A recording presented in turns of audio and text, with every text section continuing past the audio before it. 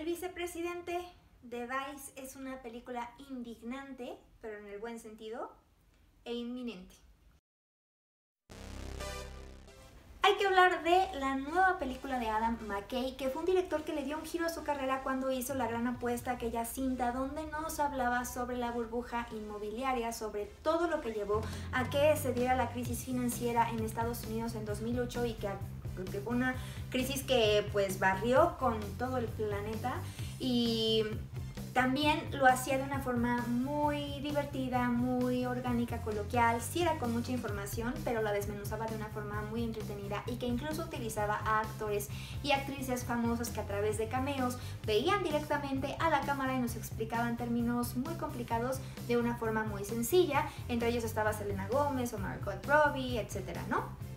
Ahora retoma un poco esa táctica de hacer las cosas muy claras y muy llanas y de una edición trepidante muy dinámica para jugar con los géneros cinematográficos, para jugar con eh, lo que se dice debe ser ¿no? una estructura en una película dividida, pues aunque respeta los actos, juega un poco con los recursos que en teoría se han establecido dentro de las películas para hacer ciertas cosas. Me explico un poquito más. Eh, a la mitad de la película, ni siquiera a la mitad de la película, de repente llega un momento en el que la película corta, te da un falso final y corren los créditos para después darle un giro por completo en cuanto al tono a la cinta y además sabe aprovechar muy bien la sátira para burlarse de sus personajes, para burlarse de nosotros, para burlarse básicamente todo el planeta por todo lo que ha ocurrido en el mundo político de Estados Unidos. Todo esto lo hace para contarnos la historia de Dick Cheney, que fue la persona que realmente estuvo detrás de George Bush cuando estuvo en la presidencia para ver cómo este hombre manipuló muchísimas cosas para poderse quedar al frente del gobierno y ser, ser como el Frank Underwood de la vida real, porque tanto él como Amy Adams tienen una onda muy de Frank y de Claire Underwood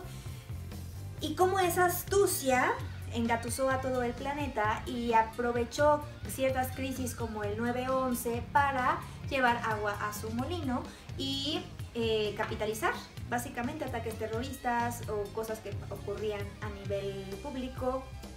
y porque él era el encargado de la diplomacia, de la defensa, de muchas áreas súper importantes de Estados Unidos, el país más poderoso del mundo. Y entonces la película al principio nos cuenta cómo es que este hombre empieza a figurar en el panorama, no era de una familia realmente muy acaudalada ni nada, sino cómo fue de una forma muy ambiciosa, a diferencia, habla de la ambición de una forma muy diferente a la favorita. Y aquí es como una ambición eh, en el marco del poder y de a, quién, de a quién tener como enemigo y como amigo para poder llegar a cumplir esos objetivos.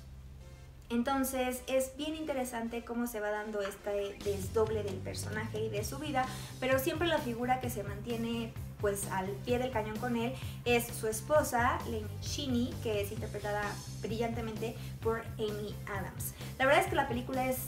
súper entretenida, pero al mismo tiempo da coraje ver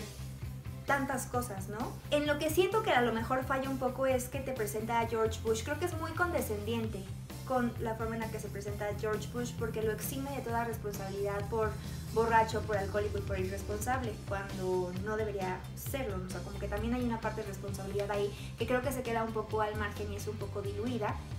Y también con Colin Powell, porque lo que van a ver que ocurre con Colin Powell, después él dice que es el momento más vergonzoso de su vida, pero a fin de cuentas lo hizo lo que hizo, o sea, como que siempre está la objeción de conciencia y no la ejecutó, ¿no? Porque no quería perder privilegios, porque no quería perder su estatus, porque no quería perder su trabajo, porque lo que sea. Pero entonces creo que, por ejemplo, la película sí llega a ser un poquito más eh, ligera en esa parte, pero también creo que vale mucho la pena eh, el mensaje como ese mensaje que va entretejiendo a lo largo de la cinta lo aterriza en tiempos actuales y que incluso ahí Trump sale un poco embarrado, nada más como información. Al final de la película, la, película termina con un mensaje que es brutal, pero creo que es importante que sepan que después eh, hay como otra escena post créditos, entonces para que se queden por ahí porque esa escena también como que termina de amarrar todo el mensaje de la cinta. Y es que lo que nos quiere decir McKay es que tanto ellos como nosotros tenemos la responsabilidad de lo que está ocurriendo en el mundo, porque ya sea por nuestro voto o nuestra falta de voto o por nuestra apatía, permitimos que ciertas cosas ocurran. Entonces creo que es una película bien valiosa en ese sentido, que está súper bien actuada, que el maquillaje también cobra una parte bien importante, pero que no es un maquillaje que impida que los actores puedan desenvolverse y puedan actuar. Fíjense incluso en las manos de los personajes, se ven increíbles, o sea, como si realmente Amy Adams tuviera muchísimos más años o que Christian Bale tiene muchísimos más años de los que en realidad tiene. Steve Carell está increíble, como que también era bien difícil conseguir que todo el elenco estuviera en un tono adecuado y creo que Adam McKay lo hace muy bien.